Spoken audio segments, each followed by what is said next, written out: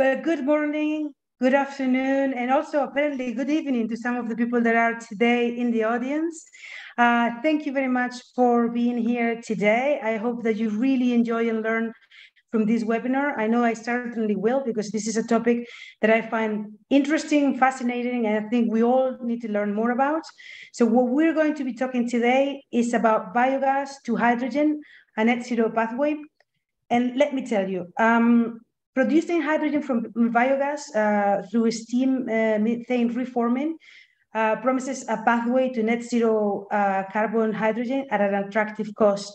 However, we have to figure out whether this type of uh, hydrogen can actually be considered net zero and uh, whether they can actually yield low cost hydrogen. These are the two things that we need to figure out and uh, how it compares to electro electrolytic hydrogen. And this is precisely what we're going to be talking about today. Um, we are going to be, we're going to have four presentations from, from leading experts in the field today. And before I give you a chance to get to know them a little bit better, I just wanted to let you know that we are organizing this event uh, in preparation for our live event, our face-to-face event in Las Vegas on July 12th and 13th, which I hope all of you in the audience can join. I see that we have quite a lot of people from the international uh, circuit there. I can see people from the UK, the Netherlands, also the US. Please introduce yourselves. We love to see uh, where you are coming from, and hopefully now the speakers can also uh, let, let you know where they, got, where they are, are, are situated. So let's get to know them a little bit better. First, can I ask Alyse to please introduce yourself so that people in the audience can get to see you? Sure. You, Thanks. Go ahead. Yeah. Hey, Alyse Bordelon. I'm in the Mountain Time Zone here in Denver, Colorado. I'm a originator at Constellation Energy, the US's uh, leading power and gas supplier. I'm an originator of renewable natural gas and other sustainable products. Thank you very much, Alyse. We saw this morning that there was some good news for hydrogen also coming from Colorado. So, you know, great to see all of those movements. Uh, next, Andy, please, if you could introduce yourself. Sure. My name is Andy Dvoracek. Uh, I'm the VP Business Development at AMP Americas. AMP is a um, first of its kind renewable natural gas developer here in the United States. We have a particular focus on dairy. And so we'll talk through our process of decarbonization and how it affects uh, the hydrogen space. Happy to be here. Thanks for bringing me along. Thank you very much, Andy. Next, I'd like to ask Tanya to please introduce yourself. Hi, I'm Tanya Peacock, and I'm Managing Director for California and for hydrogen at EcoEngineers. And EcoEngineers is an international clean energy consulting firm we have deep expertise in carbon life cycle analysis, asset development, compliance, auditing, whatever you need. We're headquartered in Des Moines, Iowa, and we are growing quickly around the US. We have offices in Canada, Mexico, Brazil, and I am based in Los Angeles. So, very much looking forward to the discussion. Thank you. Thank you very much, Tanya, and welcome. And last but most certainly not least, and I'd like to especially thank you, Gabriel, because uh, Gabriel actually helped us put this webinar together and made it possible. And uh, so, you know, for all your help and also uh, participating in the event with us. So, Gabriel, please introduce yourself. Thank you, Belen. Um, yeah, Gabriel Olson. I'm the Director of Carbon Strategy and Policy for BayoTech Hydrogen. Uh, BayoTech is a hydrogen generation technology company. Uh, we're based in Albuquerque, New Mexico, and I'm actually uh, personally located in San Antonio, Texas. We have um, variety of facilities and uh, staff across the United States. So thank you. And I'm definitely looking forward to the conversation. Fantastic. Okay, so just before we continue, I'm just going to give you some very quick housekeeping because we only have one hour. Don't, don't worry, it's going to be literally two minutes, and then we're going to move on to the presentations. Okay, we're going to have four short presentations, and then at the very end, and they've been thoroughly prepared for you guys. They're going to give you amazing knowledge so pay very close attention to those. And very importantly, please write down your questions and send them, not by the chat. By the chat, please keep introducing yourselves and also in your YouTube, introduce yourself by all means. But the questions, send them through the Q&A box at the bottom, in the toolbar at the bottom. it makes it a lot easier for us to manage them and then we'll take them thereafter we do have a few questions prepared but I, honestly it'll be better to hear from you because then we'll answer the questions that really matter which is the ones that you have so without uh, yeah one more thing i always forget to say this we are recording this session and you will have access to the materials this will be sent by the end of the week to you so you'll have access to them so without further ado, Alyse, you're the first one up. So I'm going to ask you to take your mute off, prepare your presentation, and then begin. Thanks, Belen. Okay, I would like a thumbs up if you can see my screen. We can see your screen and we can hear you, so I think you're good to go. Great. Okay. Thanks for having us again on the call today. Again, I'm with Constellation. I'm an originator of renewable natural gas and other sustainable gas solutions such as carbon offsets, um, et cetera. So um, since I'm first, I'm going to try to be a little speedy because I think the question and answer session today is going to be the most valuable part of this presentation. Okay, so what is RNG? This is the RNG, RNG 101 presentation here. RNG here in the US is defined as pipeline quality natural gas derived from the decomposition of organic matter. Um, this is about 99% methane, it is really defined as being pipeline quality. If it does not meet the specs of the pipeline in which it's being injected into, it is not considered RNG at that point. Our most common sources of this decomposition is landfills, wastewater treatment plants, and commercial and agricultural waste digesters. And the biggest benefit, especially for the people in the call here today, I would say, in addition to IRA tax credits, would be that there's no facility or equipment modifications required to consume renewable natural gas. You would still purchase your fossil fuel natural gas the way you always have or planned on it. And then you are essentially matching your consumption with a renewable natural gas purchase. So it's important here to realize that this is a drop in fuel. Um, a piece of paperwork is really going to solidify this, this purchase. Here's just a very quick overview of projects throughout the US. This is not a comprehensive list. Um, it is everything that is reported to the Renewable Natural Gas Coalition. However, just to give you an example of what we have active in the market, you'll see that projects are in, in different phases of development. Some are flowing gas on the pipeline right now, some are under construction, some are just planned and reported, but maybe haven't even begun construction. Um, just wanted to let you know what's here. If you were looking in specific areas, we would tell you what phase in development they're in. And also, is this project owner interested in selling their renewable natural gas to a customer such as yourself? Um, I'd like to point out that the pipeline connection is important here. So, hypothetically, if you were in Hawaii producing hydrogen, I could not take hydrogen um, from the contiguous states and send it to you, I would need to find a renewable natural gas source in Hawaii to supply you. And this is just a brief overview of the feedstocks that are used to create RNG in the marketplace today. On the left-hand side of your screen, you'll see a dramatic increase in RNG production over the past 20 years. A lot of this is influenced by the renewable fuel standard, we're going to stay away from that topic today, but the incentives there did grow the market to where it is today. What's more important for you here is knowing the feedstocks that are available to you. Uh, municipal solid waste or landfill gas is our most common source today. It's the most prevalent. Um, this has a lot to do with just the sheer volume of production that can come from a landfill.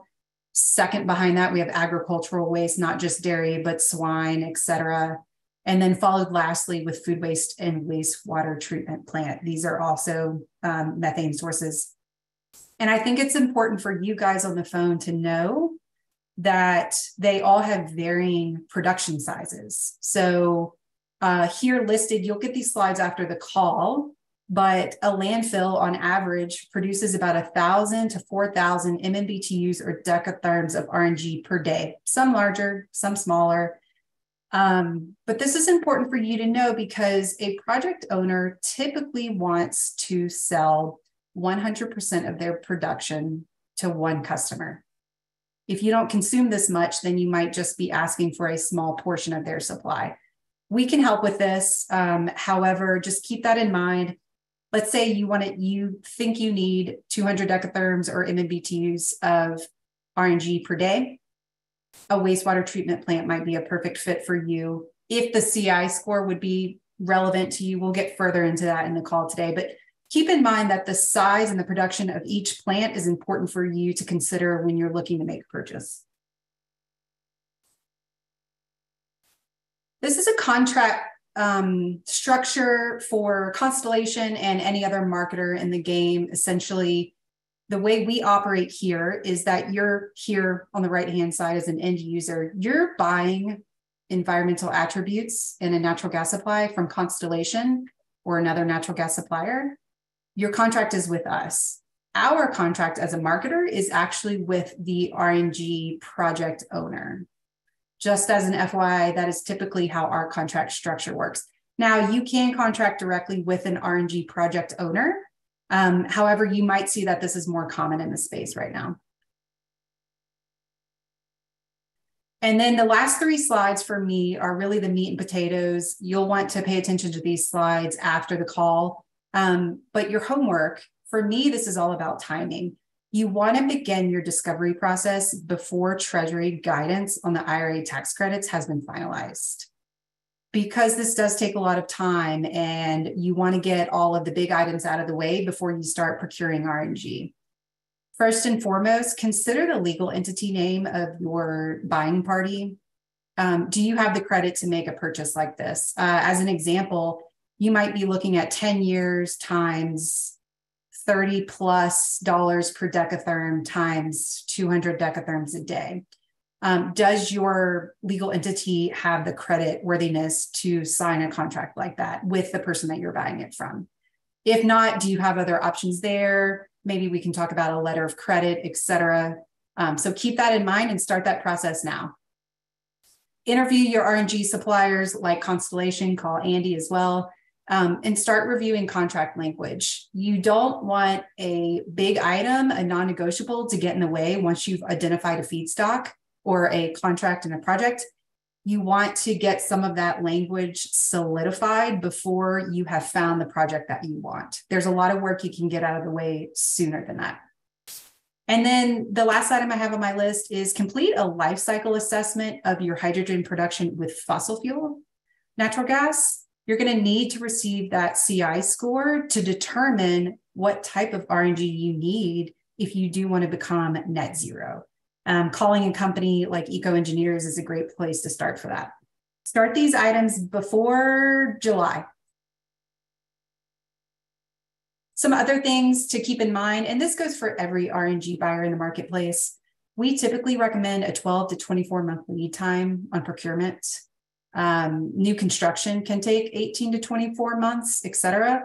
A lot of new construction starts after they have a signed contract with a buyer in mind. That is what allows them to get the financing to start ordering expensive parts, et cetera.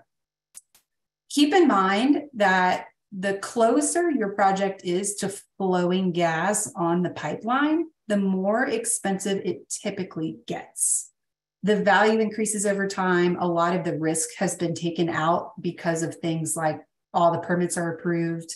Um, and then you're you're competing against current market prices at that point. So just keep that in mind. We're recommending 24 months as a lead time. Uh, also keep in mind that RNG, when we're speaking about it, we're typically talking about the physical gas and the environmental attributes as separate items. The EAs or environmental attributes are typically sold separately, and physical gas from the project is, is purchased by the local pipeline in which it's injected into. There is a potential that you can buy physical gas, but it's typically unbundled. Make sure to ask is your price bundled or unbundled? Again, RNG projects want you to buy 100% of production. That's not always true, um, but it it definitely and certainly brings down the price and it brings down the complexity of the contracts if they have one buyer buying 100% of production. 10 year contracts are typically recommended for a great price. However, I'm sure people would consider doing shorter contracts. Just keep in mind that the shorter your contract is, the more you are competing with spot market prices for your competitive markets. And that's the, the next bullet point. Consider the value of the RNG that you're buying when it's sold to other markets. You are you will be competing with that price of the value of this RNG sold to other parties. And any of your RNG suppliers are going to explain that to you over the phone, what you're competing against for your price. Um, and then, of course, just a plug for us work with a marketer. It could diversify your supply sources and provide backup. So, if your contract needs firm commitment with backup projects, um, aggregating a volume together from multiple projects could be helpful. And then, quickly, uh, this is how the typical process goes with a marketer like ourselves discovery calls. The four items here in parentheses are what we really need to start looking for you what volume are you looking for? How long of a contract are you able to sign? What date do you need to start consuming this gas? And the CI, the carbon intensity score of the RNG project, which one do you need to reach the tax credit goal that you're looking for? We put NDAs in place. That way we can share information two ways, um, you know, confidential information. We can allow you to go on site visits and get all of the confidential documentation from project owners and start discussing contracts. Term sheets is our next step. This is where I call this the promise ring. This is really, we're setting expectations to work together very closely, even though it could take 90 plus days to get a contract in place.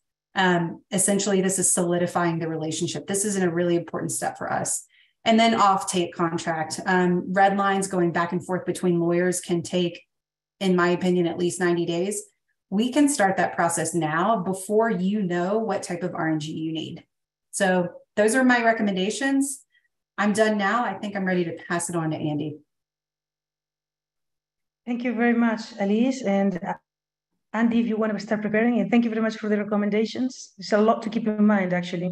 It's a lot of things, especially in, in terms of like project management, what you have to be doing what. So can everybody see my screen? Go right ahead and yes, but we can not see it like in presentation. Oh, now perfect. Yeah, you're ready to go. Okay.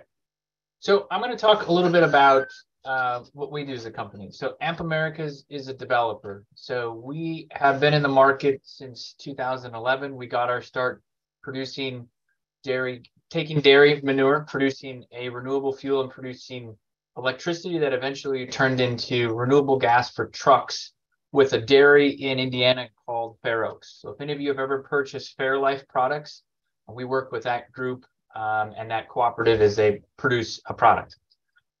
As the markets in California evolved, as well as as the markets in the EPA allowed dairy gas to qualify for both the RFS as well as the low carbon fuel standard program, our gas became more valuable. And we started marketing our gas into those markets and we converted our company from a largely a compressed natural gas development company into a renewable natural gas company. So snapshot of our company is in 2022, we produced 1.3 million MMBTUs of renewable natural gas from dairy manure. On a just as a snapshot, that's about an 11% market share on total dairy gas produced in the United States that gas is all ultra low CI gas. So to give some reference here, as Alyse talked about CI earlier, uh, fossil natural gas typically has a carbon intensity score in the range of 50 to 60 grams of CO2e per megajoule. And dairy gas in our portfolio has a score of a negative 250 to negative 300 score. And that gives you a direct reference to the amount of carbon that's abated through our process. The majority of our carbon abated is from the methane avoided by converting the manure into a fuel. So instead of that methane being emitted to the atmosphere through normal practices, we capture it, clean it, compress it, put it into a pipeline, and use it in transportation as our typical means. We have 14 projects across the country in develop in, in operation, and we have a number of them in development going forward. We think we'll produce somewhere around 2.5 million carbon dioxide, metric tons of carbon dioxide abatement by 2027. We're doing about a half a million at, at a run rate right now. Here's a snapshot of where a couple of our projects are located. We've got a cluster in Idaho. One of those is electricity. The balance of those are renewable natural gas. And then we've got a large cluster in the Midwest where we take um, like I said, we take dairy manure, process it through a digester, we capture that gas, refine it, and put it into a pipeline. Collectively, we've got about 200,000 cows across the country that are, are producing this gas.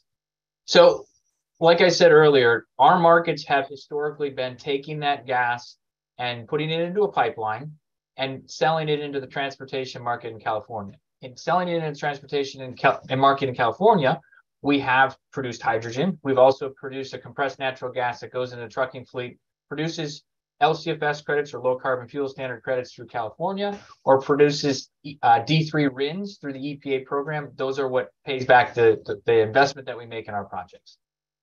What's changed more recently is um, there was a a statistic I saw the other day that said about 88% of global emissions are part of some form of target for reductions. So corporate entities, utilities, universities, individuals, as well as states and other entities are looking to make reductions and they're trying to figure out how to do it. All of our efforts had focused in on transportation because that's the market exists in California and Oregon and other states. But we're seeing an evolution in the US in the voluntary space where the gas can be used for other things.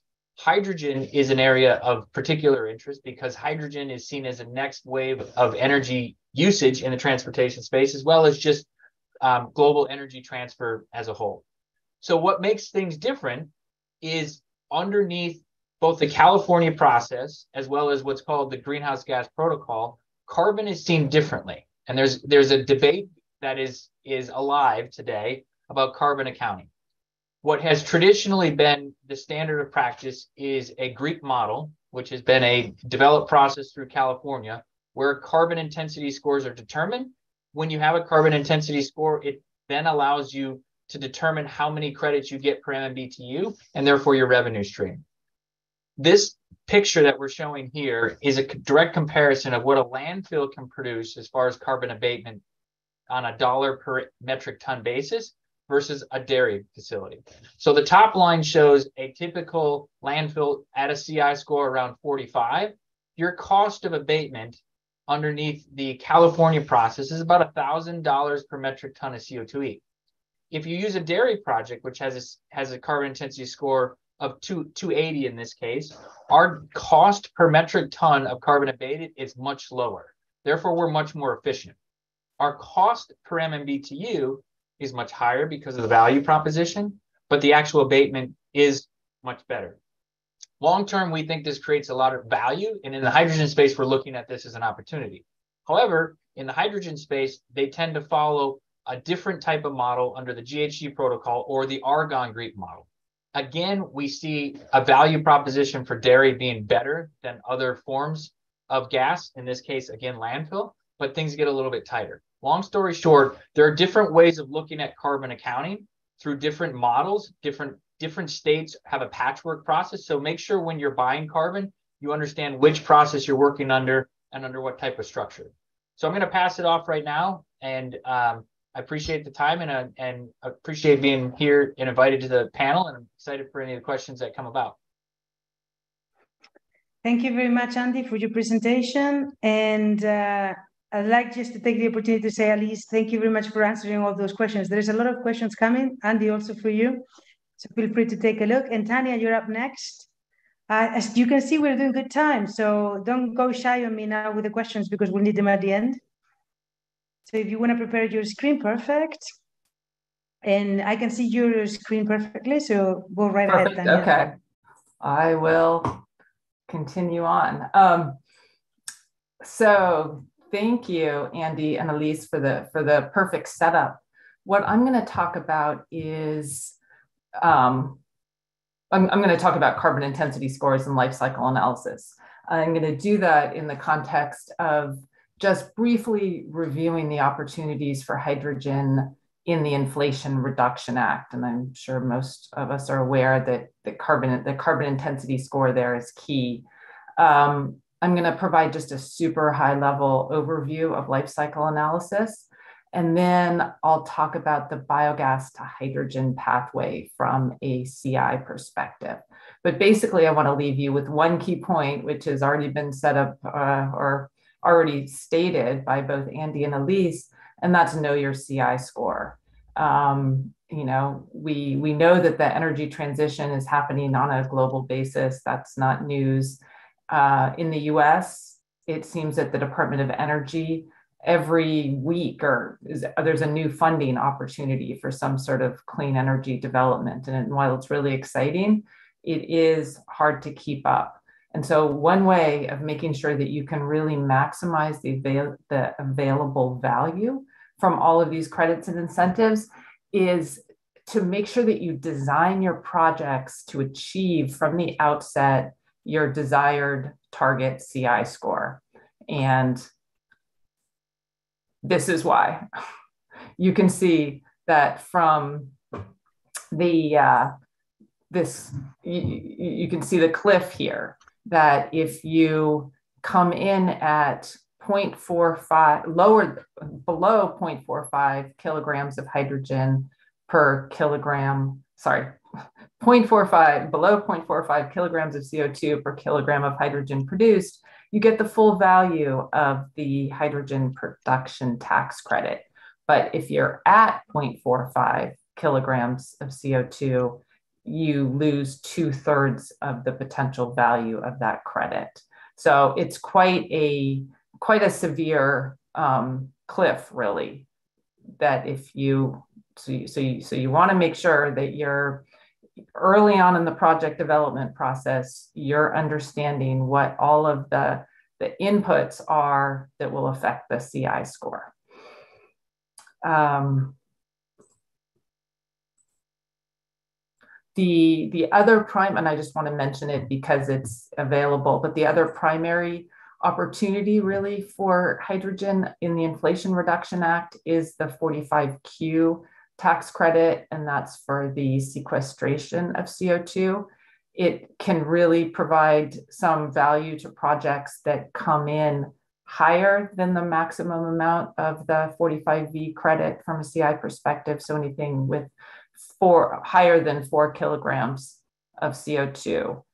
Um, and, and some projects, you know, talk to people who are looking at trying to depending on the stage of their project, looking at um, both the 45V and the 45Q. They can't be stacked.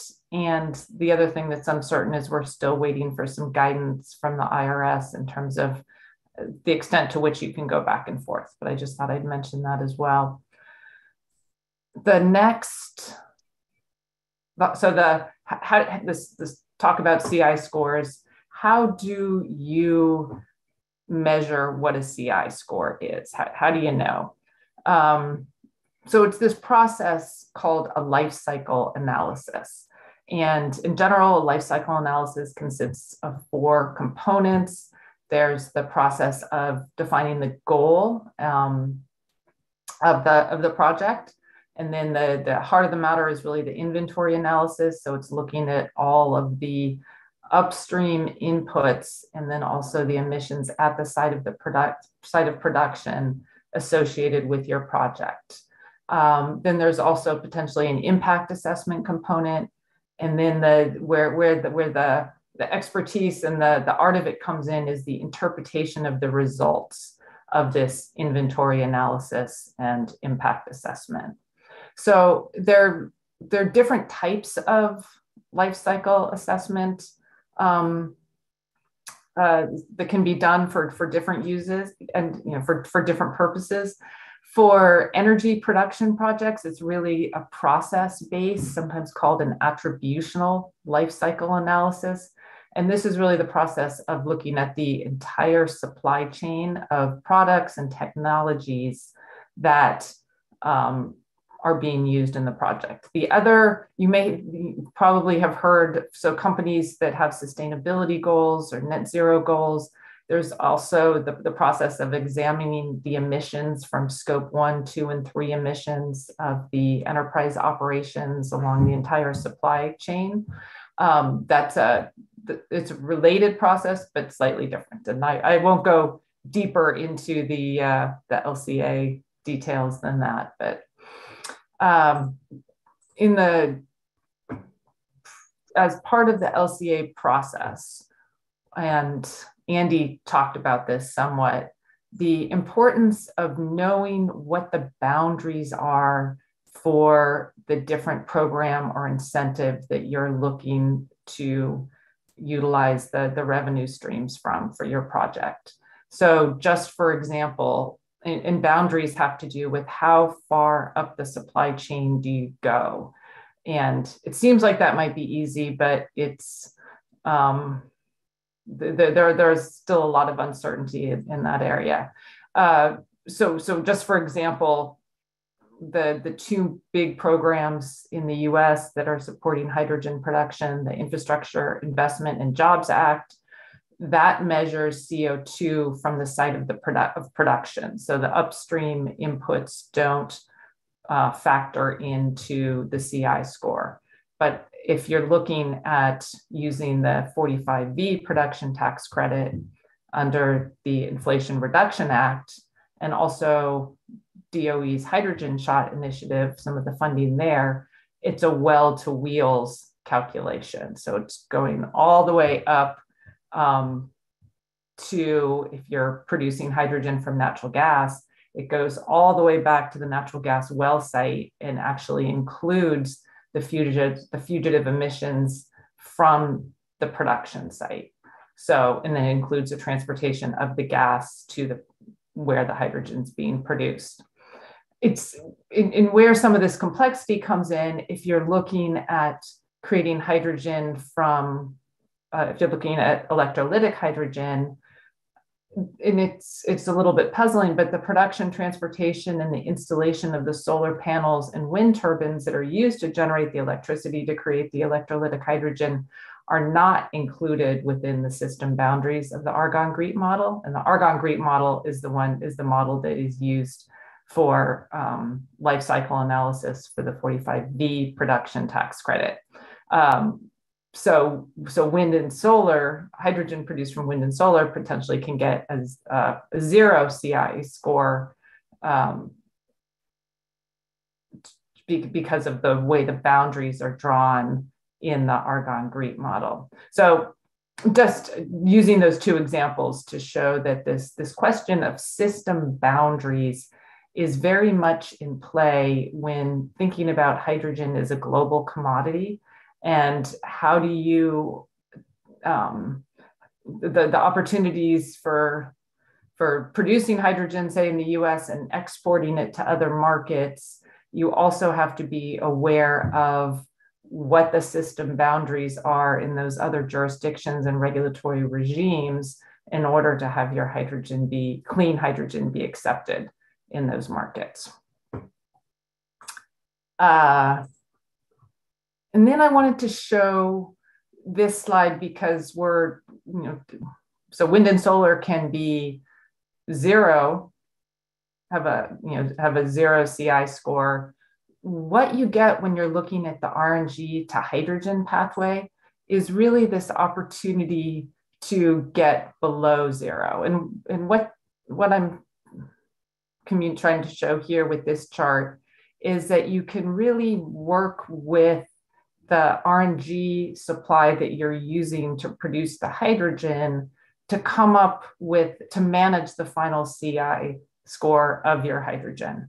And the lower, and what, what I'm showing here is you, so the, so the lower the CI of the, the, the RNG, of course, the lower the CI of the hydrogen.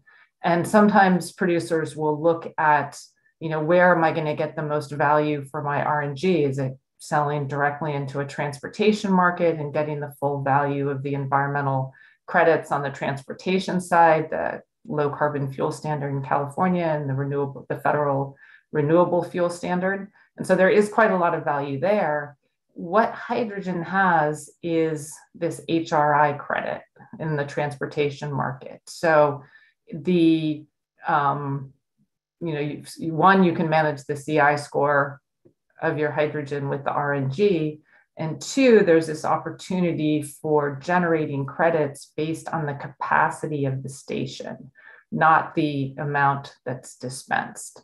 Um, and so when you're looking at, you know, very low CI, or if, if you're, you know, negative 150 CI, CI uh, R, RNG, if you convert that to hydrogen, and, and, and utilize the, the, both the, both the dispensing credit under the low carbon fuel standard and the HRI credit, there can be quite a lot of value. And so you can, you can see that the hydrogen value proposition can be higher than just the state straight RNG value proposition.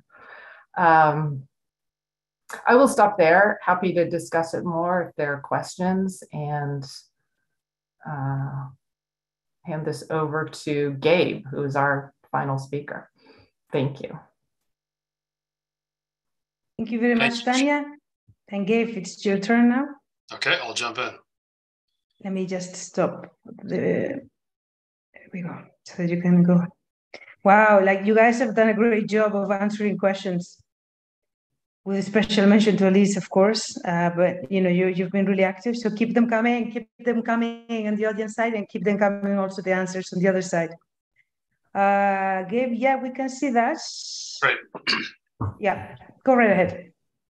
So yes, I'm again. I'm Gabriel Olson, Director of Carbon Strategy and Policy at BayoTech. Um, as I mentioned, we are a hydrogen generation technology company, um, and we generate hydrogen molecules locally, uh, closer to the actual end use, um, which is a difference uh, compared to the traditional hydrogen uh, industry that's currently focused around large centralized refineries, kind of you know, oil oil refinery scale you know operations. Um, that allows us to reduce and avoid um, you know, sort of that long distance transport, the liquefaction of hydrogen, uh, the storage costs, and also, uh, you know, subsequently allows us to avoid the energy and carbon emissions associated with all of that. Um, that that that ends up being kind of a net positive for us. So RNG also plays a key role in our production strategy um, in terms of reaching carbon neutrality or carbon negativity. Uh, and I'll but I'll talk a little bit more about that in a minute. Um, you know, we've developed a small, modular, and scalable hydrogen generation uh, technology package uh, that produces up to 600 tons of hydrogen per year. Um, so that's a relatively small scale, but again, the focus is on the end user and emerging end uses rather than existing large industrial scale, um, you know, kind of operations. So, it, you know, we actually do use, of course, steam methane reformation um, but we're using a more efficient heat recovery system that was developed by Sandia National Lab. Um, that's, that's 20 to 30% more efficient than traditional SMRs. And we also produce uh, and operate a full line of hydrogen transportation and storage equipment that helps to facilitate the distribution of hydrogen molecules to the actual end use. Um, you know, really, that's that's allowing us to service that last mile challenge um, distributing the hydrogen to a wide variety of emerging customers. There we go. So uh, as I mentioned, we are local. We're also distributed, um, you know, close to the end user. That means that we have operations across the United States. We are headquartered in Albuquerque, New Mexico. Um, our storage and transport business is um, based in Tulsa, Oklahoma. Um, we have commercial production facility uh, that is actually going online in the next uh, month or two outside of St. Louis, Missouri, which we're very excited about. That's going to be our first commercial production facility. Um, and additional pro- uh, planned production um, facilities across the US, starting in California, Northern and Southern California, New Mexico, Oklahoma, Michigan through 2025. So over the next couple of years, we'll be rolling those out.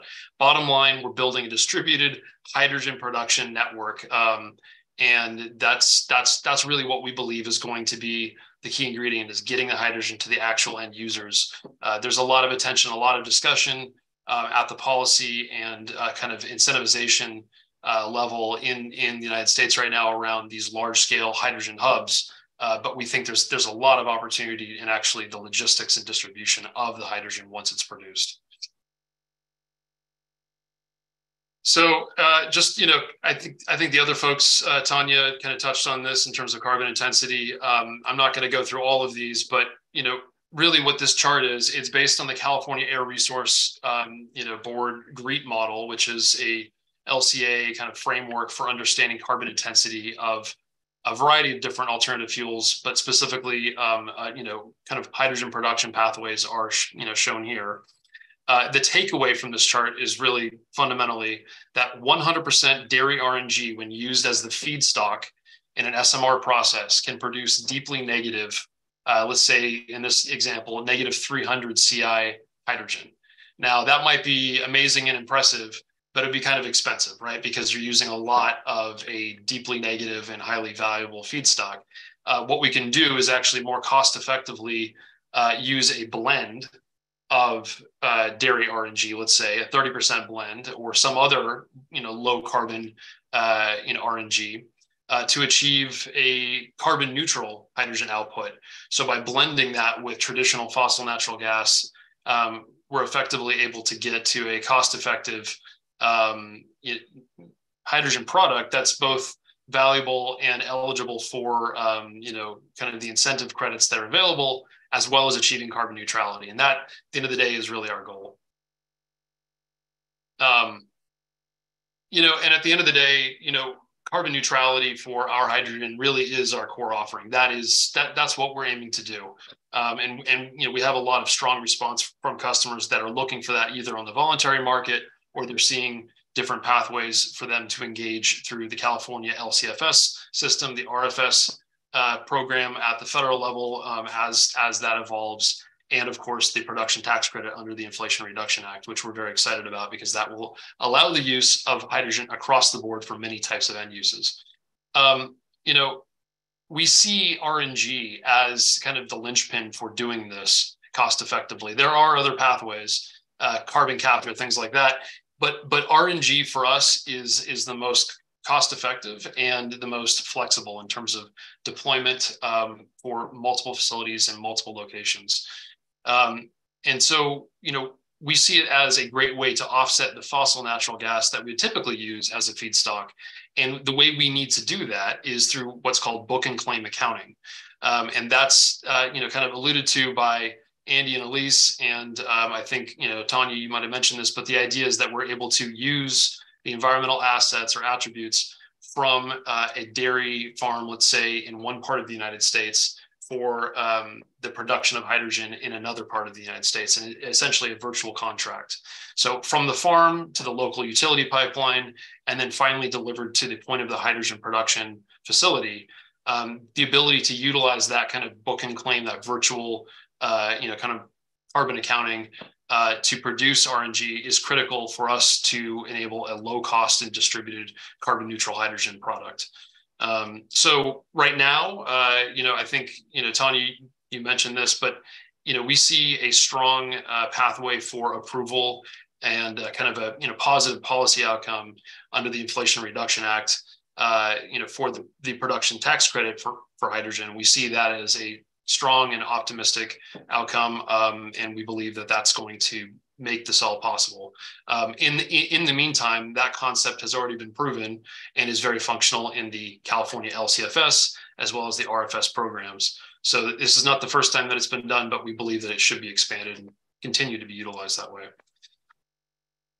And I think that is all I had. So I actually left it with my email address if anyone wants to jot that down, but I'm also happy to uh, jump to the conversation. Thank you very much, Gabriel. And I mean, the speakers, if you're happy to be contacted, by all means, like put your email in the in the chat, you know, so people can take it. Uh, it's going to be in the presentations anyway, but you know, I'm just saying, if you can't wait, if you're that interested in biogas that you'd like to talk to them now, then uh, then it's there. Um, so I'd like to ask a few questions, uh, just warming it up so that maybe the audience can send more questions through. Um, so the first question I'd like to ask you, and I'm going to leave it out open for anyone to answer as they like. And I think the most Im Im important question really to answer is how much value does the, the Inflation Reduction Act uh, production tax credit uh, have in hydrogen production and in its pricing? So I don't know who wants to take the question. But to start, Gabriel, do you want to start, and then you guys can add and, and give your, your two cents. Yeah. Yeah, it, yeah, no, that's a great question, and and you know, Tanya, I think you also put some numbers up around that. Um, at the high end, uh, there's the potential for up to three dollars per kilogram of produced hydrogen for carbon, effectively carbon neutral hydrogen, and there's a tiered, you know, set of incentives that has a declining value um, if if you do not meet that target. At the at, at the low end of the incentive uh, tier, it's if you're at a 33 CI approximately uh, you're eligible for 60 uh, up to 60 cents um, of incentive value. So you have to meet certain conditions in terms of you know prevailing wage and apprenticeship and some other things. But uh, you know, ideal outcome is up to three dollars per kilogram. Uh, what that does, and this is this is an important point for us, we see this as potentially enabling cost neutral, carbon neutral hydrogen. So if the if the cost of the RNG feedstock is able to um, to essentially meet the marginal you know value of the PTC, then it, then in theory you could have carbon neutral uh, hydrogen that does not actually cost the end user uh, anything extra. Um, that that you know there's going to be some some you know, interesting math and kind of you know, up and down around that depending on the type of RNG available and depending on contract terms and all of those things. Uh, but that's that's what we're optimistic about. When will we know? Do we know when you know we're going to get clarification as to how it's going to work from the IRA side? Please tell me. no, I mean like. We know. I know. I'm joking.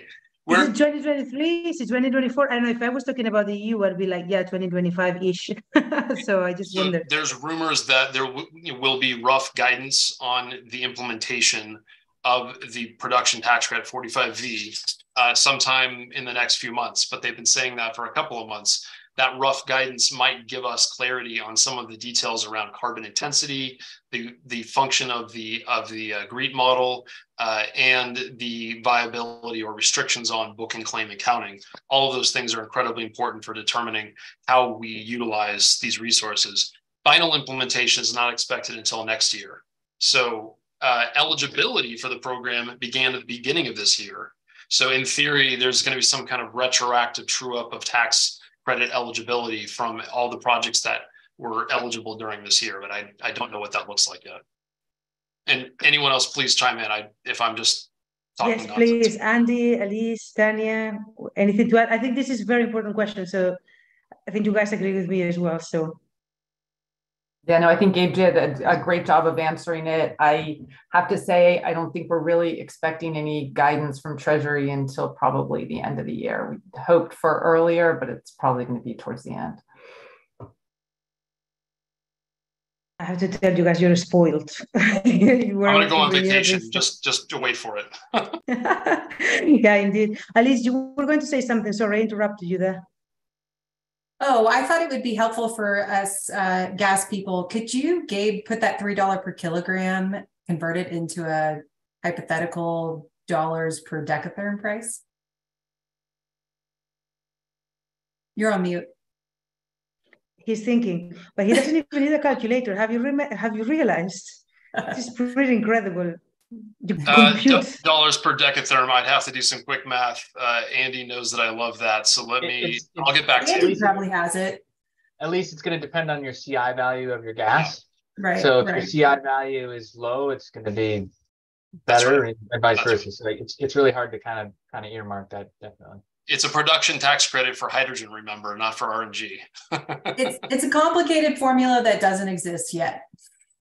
What I will say about it is that, you know, the California market, which is by and large the largest market for low CI gas, um, it's it's there's some there's some parity that happens at certain CI levels, and then there's some non-parity that happens. And so everybody's trying to figure that out. We're one of the groups in that process. Do we sell our gas to California or do we sell it to somebody else? And a lot of that's going to come down to price, but it's also going to come down to term and different structures within the agreements because if right. you sell into California, you're largely exposed to market fluctuations. In a nascent non-liquid market, you're going to see some bumps. Whereas if you go a long-term contract, you may want to take some concessions on price to, mm-hmm. to secure that long-term contract because it changes how you finance projects. So there's a lot of variability you got to think through in that process. But it's going to depend on CI.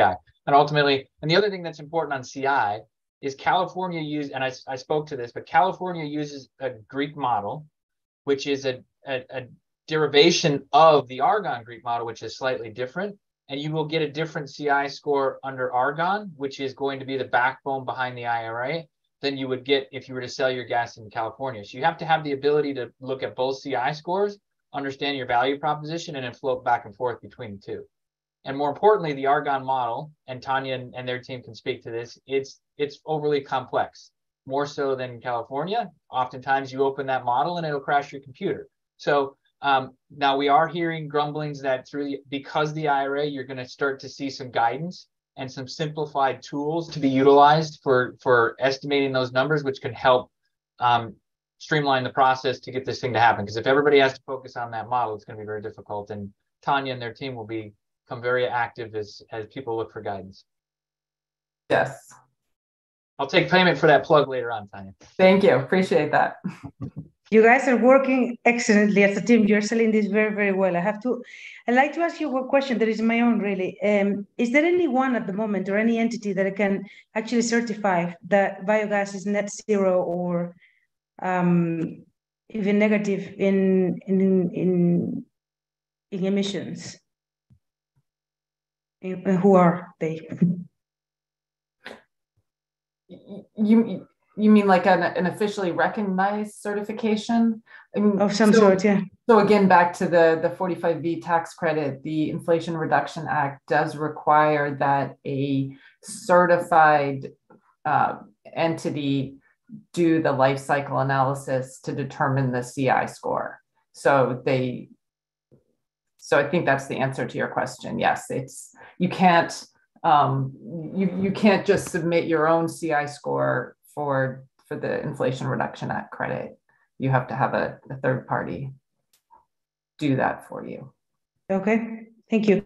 There, have a ton of questions. So, I mean, I, I was going to say, you know, there's so the there are organizations looking at a global level of how do you create, say, a hydrogen passport with the you know with with CI metrics with the agreed upon met, uh, methodology so that there can be more transparency and ultimately more liquidity in the market because hydrogen is a global commodity and so there needs to be consistency in terms of how you how you measure the CI and and a certification process.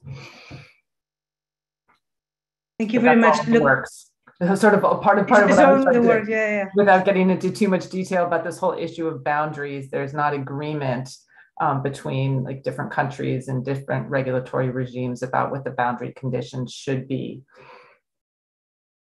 To, to offer um, a slight additional amount of complication is Argonne and more specifically the GHG protocol, which is used by nine, some 90 plus percent of, of Fortune 500 companies as their carbon accounting platform, doesn't necessarily have the same view on book and claim as California does.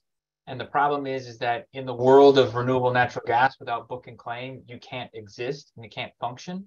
And so there's some there's some work that needs to be done to clean up those issues. And all of us are part of different groups that are lobbying and, and having conversations with the right people to get create some of that education and that understanding on how book and claim can be correctly utilized without any risk of double counting in the process. So that's an additional step that needs to be taken. Thank you very much for clarifying, Andy. Just one thing, there is about seven questions open. I was wondering, because we have only five minutes, if you guys can take a look at the questions and see if you like to answer any specifically. I think maybe there is a couple of them that are out of scope that maybe not so much for us to answer today, but others that are probably, you know, good to be answered. So at least I can see that you're answering a question as we're going. Um, if I may ask it uh, live, it says, sure. how are you, are you addressing the regulatory risk in contracting these long-term agreements, i.e. 10-year sure. agreement based on economic of current policy structure, which can be changed quickly? Go right ahead. Thanks. That is a very common question. We get um, people want to sign 10 year contracts and they say, I'm committed to this price in 10 year for 10 years. What if some rule comes along that says this feedstock no longer qualifies for my needs? What do I do then? Typically, of course, everyone in the contracting process, including the marketer or the project owner, wants to put the risk on you. They want to take it off of themselves and, and sell a very safe contract for their side. That's the whole, that's why it's going to take longer than 90 days to negotiate a contract. Um, but there are some flexibility things we can do to mitigate those risks. As an example, in my early slides, I said you definitely need to consider the value of this gas in another market because there could be a point one day when you don't want to buy that gas anymore and you want to sell it to another market where you can sell it for more than you paid for it. We could allow something like that in our contracts. Thank you very much, Alyse. Um, Andy, you're answering a question. I'm catching you because you're answering the questions. It says, when evaluating the effectiveness of a technology of, for the production of hydrogen, what metrics are used? If you could just answer it live. Sure, I can I can start this and Gabriel can probably probably jump in here, but I think the efficiency of the conversion is the most importantness. It more most important process, cost of that conversion as well. Uh, steam methane reformation is by and large the most the standard used in the space. There are other processes um, that um, can be less carbon intense. Um, you can do carbon capture and sequestration on the back end of um, steam methane reformation to, to address that. Um, but, you know, there are certain minerals and certain uh, additives that are required for other processes that are rare. And so you run into cost effectiveness in that process. So right now, I think the tried and true process is is SMR, but I'll, I'll pass it to our resident hydrogen expert to, to answer that question probably better than I can.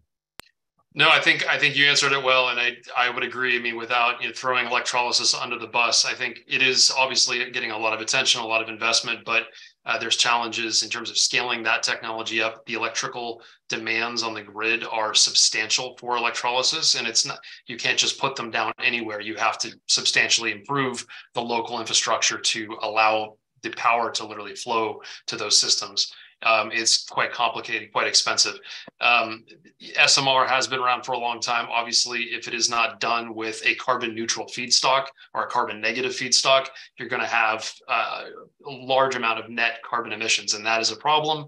So that is literally why this is so important because it, this tried and true technology that is being operated at very large scales by very large companies uh, has the potential to utilize RNG, which is an incredibly valuable, uh, you know, brown gold as they call it, in order to to you know to really take advantage of this sort of source of carbon emissions that would otherwise potentially be allowed to escape the atmosphere. And that's I think I think that's really what we're talking about is making sure we don't leave those emissions reductions on the table. Thank you very much, Gabriel and Andy, uh, and Alyse and Tanya for answering the questions. I have just one more I wanted to answer. Tanya's already answered it, but I think it's important. I'm doing uh, a lot of biogas in other markets, and we're very much talking about converting it into biomethane rather than converting it into hydrogen for a variety of reasons. Each market is different. Um, but the question here is why convert biogas to hydrogen if it can be upgraded to biomethane? Is it just a matter of the current regulatory issues, you know, with the IRA and you know the hydrogen incentives, or is there something else, some other reason why it would make sense to go for hydrogen rather than biomethane, like more well, I mean, technical matters, you know, the reality is efficiencies, taking, whatever. Yeah. When you do this conversion process, you're taking biogas, which is roughly 50% carbon dioxide, 50% methane. You refine it to a biomethane, which is a, a 90 plus percent methane, and then you're injecting that by scrubbing out any additional impurities that a pipeline requires and putting it in a pipeline. Once it's in the pipeline, it can go everywhere and can be moved easily. Transport is a big issue. You can also do the same thing with hydrogen. You can take the hydrogen, produce it, put it back into to natural gas pipelines and move it around as well. So a lot of this comes down to transportation and where you want the fuels to be. Everybody wants to do electricity, and every, it's the sexy thing. If you look at the amount of electricity required to convert our vehicle fleet, just transportation alone, the amount of infrastructure needed in addition would be staggering. Whereas if you can utilize existing infrastructure that's already there and you can clean up the carbon through the process, it's kind of a win win. So that's why I think you see hydrogen in parallel to biomethane, but really biomethane is an interim step to the hydrogen process.